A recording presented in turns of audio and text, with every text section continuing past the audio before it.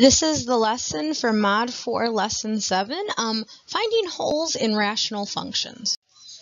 Um, the goal is we're going to be able to find a hole in a rational functioning graph. Um, so this is basically what happens when we identify values in the domain, um, but we have a rational function where the expressions on the top and bottom um, simplify, and we maybe create not an asymptote, but a hole in the function. So this is where we, when we cancel factors, um, what does that do to the graph?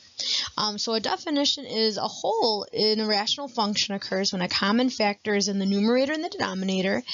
And if I was to um, get a certain x value, it would make the top and bottom zero and kind of create a hole. So we're going to look at how do we find where the hole is and, and graph it.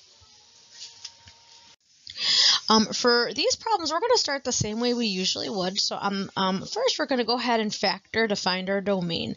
So on the bottom, it's a difference of two squares. So x plus 2, x minus 2. On the top, uh, I'm going to pull out a 4. And my domain, I would do the same way. Um, I take the opposite, right? So it cannot equal 2 and cannot equal negative 2. Um, one thing uh, that's a little bit different though is the x minus 2's on the top and bottom cancel. So what that does is we know that's going to create what we call a hole. So what happens is I'm going to do the rest of my problem with this simplified um, function. I'm going to rewrite it down here. But I have to keep in mind that I found the domain before I canceled because that's, you know, holes are still going to have to be mentioned in the domain. Um, and then we're going to use this like simplified version now to, to answer the rest, a lot of the other questions. So um, a horizontal asymptote, and I could do the original or the new one, it would get the same answer. I could see I have an x on the bottom, um, just a value on the top, so the bottom is going to get bigger much faster, so that's uh, y equals 0. My vertical asymptote, though, isn't both of these values. It's actually just the negative 2 um, because what happens is that positive 2 um, that's mentioned in the domain, uh, it's actually going to create a hole. So um, the vertical asymptote is still going to be at negative 2, but I'm going to have a hole in my graph at 2. Because, again, that's because these canceled. That's going to make a hole. Um, the rest is kind of the same. So the the x-intercept, if I set the top equal to 0, that won't really make sense. So there's not an x-intercept. And then the y-intercept is where I put 0 in for uh, x. So 4 over 0 plus 2 is 2. Um, so my, uh, my y-intercept is 2. And then finally for the hole, um, what, well actually let's, uh, yeah, let's graph the asymptotes first and then we'll talk about that hole. So we're going to have a horizontal asymptote at 0, a vertical asymptote at uh, negative, uh, at negative 2, Okay, and then um, I know I'm to have a y-intercept at 0, 2. Okay, um, the hole though, what that means is like normally we would just go from here, sketch the graph because we don't have an x-intercept. Um, in our graph, we're going to have an, a literal hole in our graph. So I'm going to put, um, to find where that hole is going to be, if I go ahead and put in 2 in for x into my reduced function, um, so we would get here Um, f, if I do f of 2 equals 4 over 2 plus 2, I would get 1. So when I go ahead and look at my graph now, I still have my vertical asymptote. Um, when I go ahead and now look at my graph, what happens is that 2, 1, which is like right here, I'm going to have an actual hole in my graph. So when I graph it, um, I'm going to have almost like a little I'm, I'm going to draw like a little open circle right there. So uh, now we're going to go ahead and sketch the graph. So when I sketch my graph,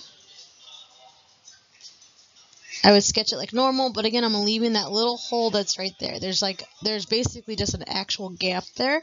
And then now I have this symmetrical piece over here. And that would be my final answer. Um, for this last example, it's it's pretty much the same thing. We're going to go ahead and factor it out. Um, so on the top, I have a GCF of 2 I can pull out.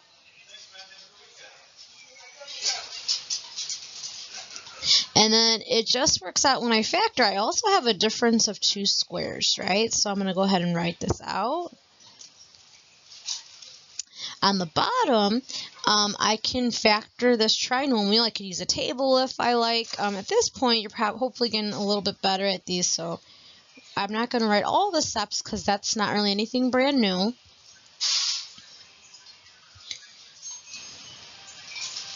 And so um, we find our domain. Uh, same, we always do it before we reduce anything. So it's a negative 6 and 2.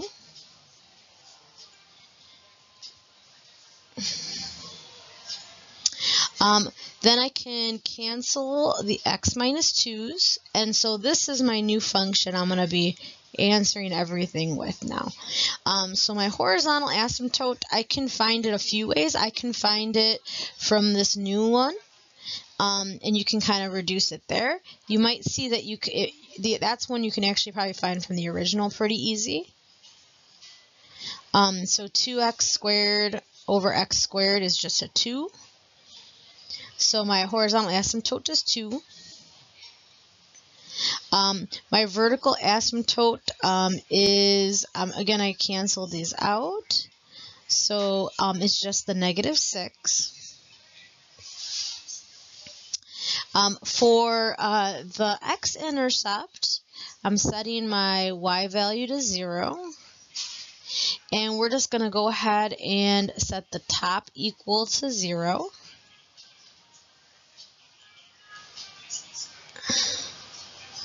And then actually I could even, I could distribute, I could divide, it doesn't, they're all going to give us the same answer. And we're going to get negative 2. So my x-intercept is negative 2, 0. Um, my y-intercept uh, is when you let the x be 0.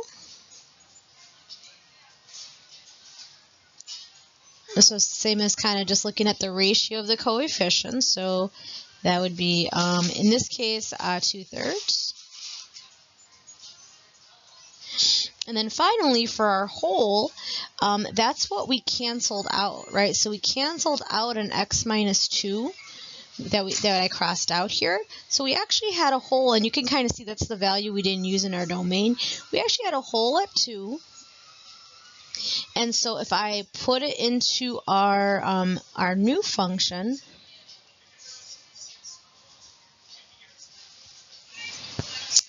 and I put that 2 in, um, that's going to give us the y value for our hole.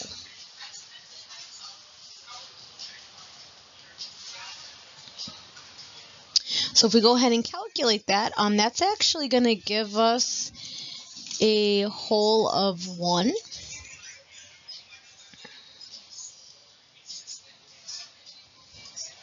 And so now when we go ahead and graph this out, um, our um, horizontal asymptote's at 2, our vertical asymptotes at negative 6.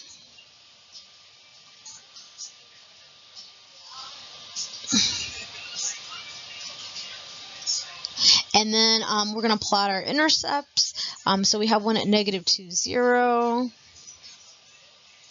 Um, we have a y-intercept at 2, 0, 2 thirds, which is like between the 0 and the 1. And then um, we're going to have a hole at 2, 1. So I'm going to have a hole right there. And so when we go ahead and uh, graph it,